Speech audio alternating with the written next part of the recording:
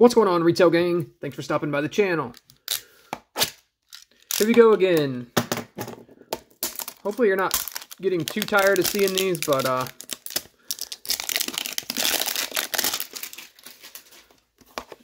just a little bit of entertainment for everybody. I mean, these are pretty quick rips, a few minutes long. Hopefully you guys can uh, hang with me for that long. Where's the tab here? Still getting a few of these in here locally at my stores. My Target had quite a few. Start with this 87 Lodolo. Walmart's still getting a handful in. So we're going to keep buying them and keep ripping them until I see something better I want. Eventually I'll get some uh, Stadium Club maybe. Maybe some Heritage. Get through these horizontal cards here.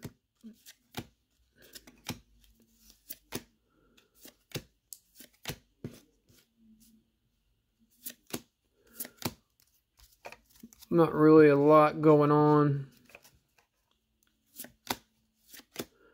There's a Jeremy Pena.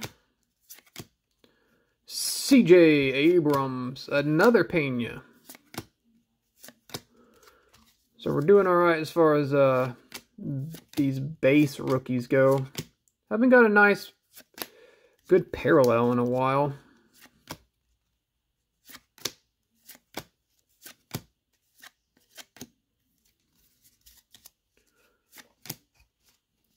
Nice. It would have been nice to get an auto. Steven Kwan. Kwanzilla. Alec Thomas.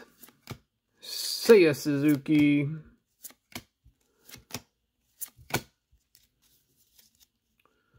Mats Brash.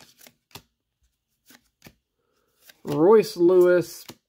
Nasty Nestor coming into what was the middle of this hanger. We got a Justin Verlander at a 299. So I was talking about not getting a decent parallel in a while. Here is a green. Oh, it's not a green. It is the uh, All-Star game. So maybe the greens are... The greens numbered to 4 299? I can't remember. Anyway, faked me out there, but uh, kind of forgot you could get these in a parallel. Probably not a lot of value there, but a decent hit nonetheless as far as difficulty. Not bad. We'll uh, put him right there. Only have a few cards left to go. We got a blue retail exclusive, Josh Donaldson, Matt Chapman, Brandon Crawford, Bobby Witt Jr., Jarren Duran, and we got a base black gold of Spencer Torkelson. This is probably one of my favorite designs, these black gold inserts. I think I have this card already, but it's alright. Nothing wrong with another one. We'll sleeve it up just because I like them that much.